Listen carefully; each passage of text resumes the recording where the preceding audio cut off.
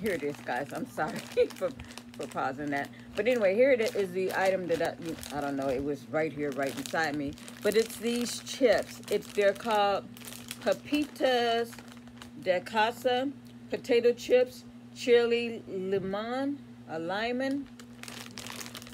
These, well, I haven't tasted these, but I have bought the, uh, I bought two packs of the, their regular chips.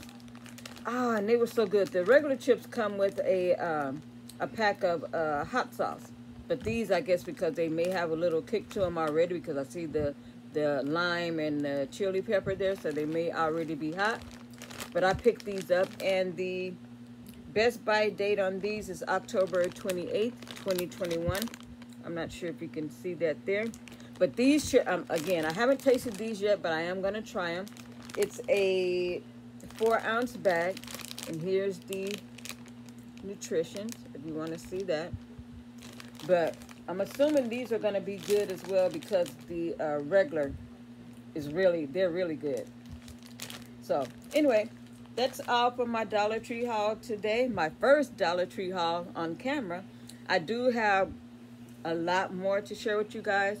I figured because I shop at Dollar Tree, uh, Dollar General, Family Dollar, Goodwill, Walmart, Target, all of the stores that I see a lot of YouTubers uh, haul on, you know, on YouTube. So I figured, why not share mine?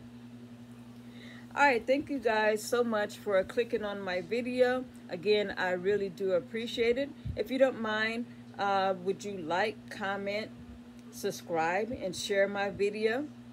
I would really, really appreciate it. And thank you all for watching me today. I really, really appreciate it. I appreciate you all, and I wish that you pray that all of you have a blessed day today. Bye for now. Till my next video. Again, this is Cheryl.